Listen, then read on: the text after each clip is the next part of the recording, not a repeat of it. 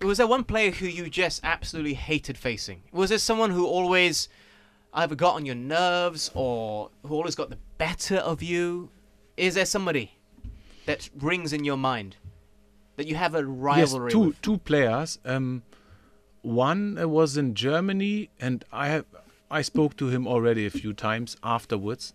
But it was his style of football. Paulo Sergio, maybe you remember, he Oh, played yeah. for Brazil, and a really good attacking player, and always, um, you know, you say provocate you, Yeah, see- provocates you. Yeah, provocates you in a way that you go Provokes you. crazy.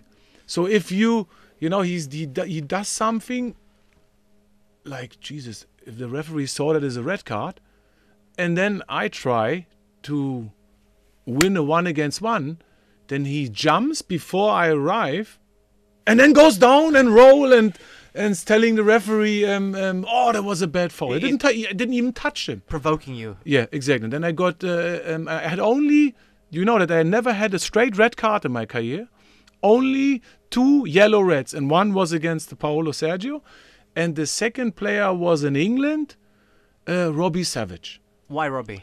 Because he's talking to you, you idiot, you bloody German, you please go home. Why are you here? He's talking to you the whole game. But in respect, he played really well at that year at Leicester, and we had a lot of big games. We played uh, the League Cup final straight away in the first year, and Leicester, um, I think, I think they finished above uh, Spurs at that uh, time. And he was, he never stopped to talk to you, but in a way that you don't like.